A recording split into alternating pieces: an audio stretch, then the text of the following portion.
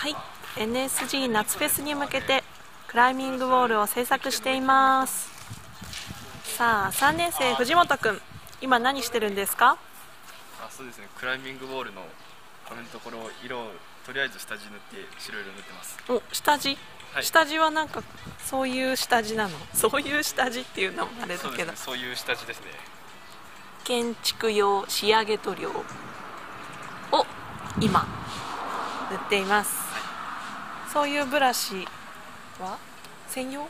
なんかボコボコしてるのはなぜですか？そうですね。これでこれ自分もちょっと詳しくわかんないですけどこのボコボコ感がちょうどいい具合の塗料感を出すんですね。なるほどね。はい。下地は白でこの後上に色をのせていくということですね。実はもう一面塗ってあります全部で3面ウォールがありますが1面ははいピンク色に決まりました。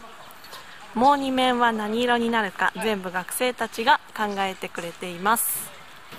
ウォール制作のリーダーの鷲見先生です。鷲見先生あの仕上げ仕上げ塗料白い塗料。